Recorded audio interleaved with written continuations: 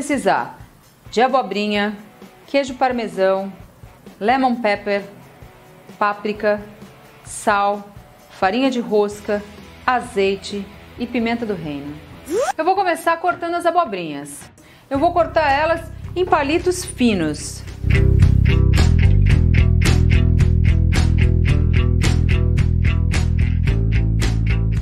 Eu vou tirar essa partezinha com mais semente porque fica muito molengo se você coloca no forno assim.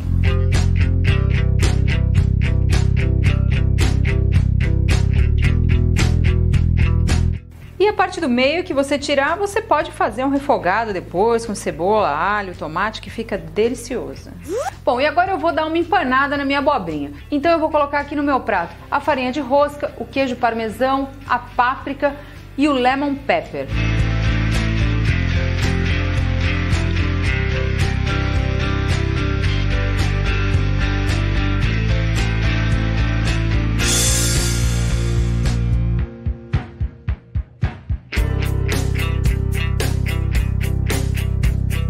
Então agora eu vou colocar azeite nas minhas abobrinhas, temperar com sal, pimenta do reino e aí eu vou passar elas aqui nessa mistura de farinha para dar uma empanada.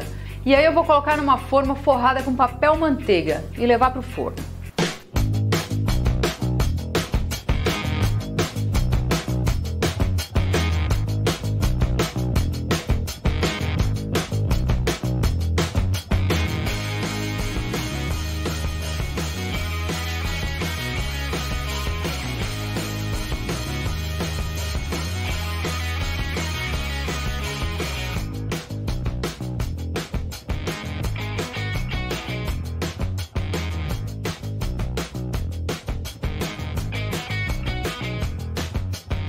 E agora eu vou levar para o forno pré-aquecido 220 graus por mais ou menos uns 20 minutos até ficar bem douradinho. Vamos lá.